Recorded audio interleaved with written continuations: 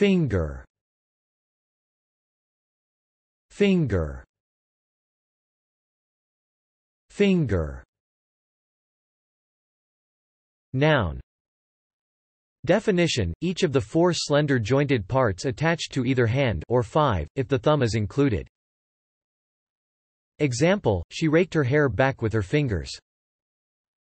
Transitive verb Definition, touch or feel something with the fingers. Example, the thin man fingered his mustache. Transitive verb Definition, inform on someone to the police. Example, you fingered me for those burglaries. Transitive verb Definition, play a passage with a particular sequence of positions of the fingers. Thanks for watching this video.